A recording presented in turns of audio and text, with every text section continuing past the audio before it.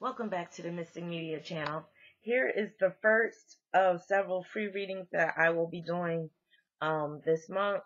So I will be doing some this week, but also later on in the month. I was supposed to uh, do some free readings last month. I actually did during the uh, first part of the month, but then I was supposed to do the rest. But I got really busy, and because I got to prioritize and all that, um, they're kind of late.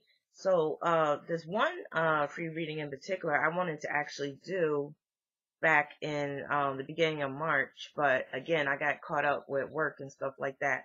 So this free reading is for Cate, and she wrote me saying, Dear Rahbinah, I subscribe to your YouTube channel and am always amazed and entertained by your readings.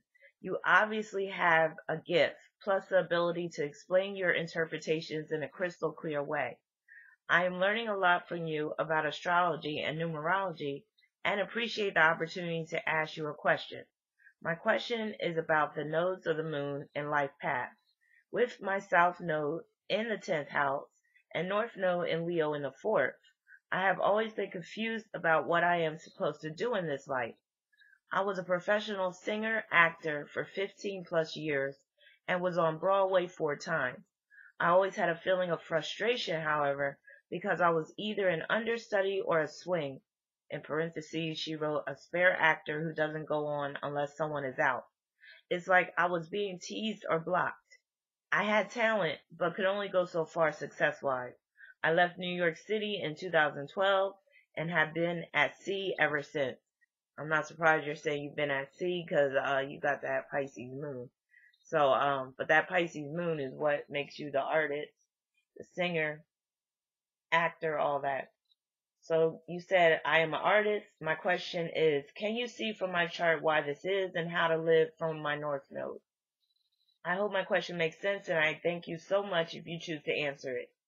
So, Cate, your main issue, going back to your, uh, singing acting career, uh, especially when you didn't uh, find success on, uh, you know, on the major stage, like on Broadway and stuff like that, always being an understudy. That deals with your 10th house South Node in Aquarius, mind you. So in this lifetime, you can't really rely on um, external circumstances or outside factors or even companies, employers, corporations, all that stuff for you to be successful. So you have to be a success in your own right and you have to basically create your own brand, your own shows and performances. And it needs to be more personalized. Your whole life needs to be more personalized. Uh, when you rely too much on the outside world trying to make it through, you know, Broadway would be considered the outside world because, you know, everything is being produced by someone else. And you don't even have a choice in terms of what type of play or what type of performance you're putting on. You just have to basically, you know, follow the script that's already been set forth. So in this lifetime, that's not going to work. So you definitely need to create your own your own company, your own acting troupe or your own type of organization and you can find success that way. So you have that Pisces moon in your 11th and you also have your North Node being conjoined to Uranus in the fourth. So that's kind of like one and the same because Uranus and the 11th house are very similar. So that right there is reinforcing what I said, where you need to create your own group, your own organization, um, create if you want to, you know, be a playwright, create plays that have personal significance and that, you know, is more on, uh, I'll say cultural level, like something that applies to your culture in particular. And that moon in the 11th house can point to that as well. So you can, um, I'm, I'm looking at that 11th house moon. It's in sextile to your Jupiter and Saturn, but I'm mainly looking at Jupiter in particular because it's in your ninth house. I'm looking at that as where maybe you could create your own YouTube series or create your own YouTube movies or whatever. Um, you start looking for talent in your local area. You do have the moon ruling your third house, and that can deal with your local area. So think about going in that direction, you know, establishing something of your own, something that you can call your own and trying to be a success that way.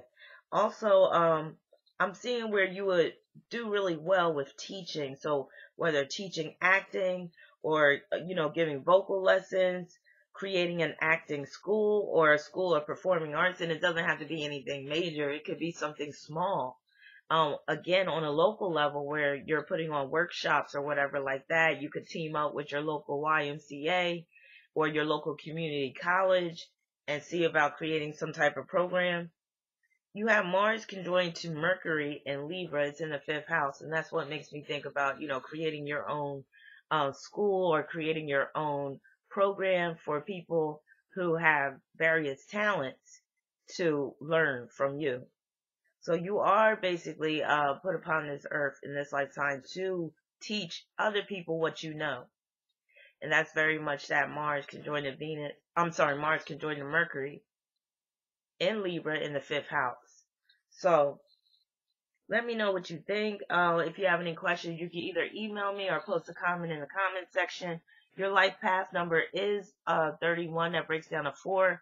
So 31 and 4, basically you do need to go your own way in life. You need to be very independent.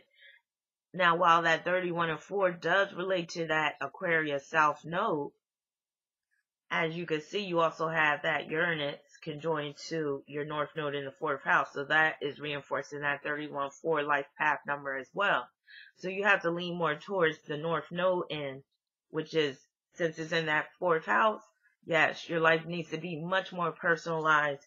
You need to be creating your own brand, your own shows, your own performances, like I said, and you very much are an inventor in this lifetime.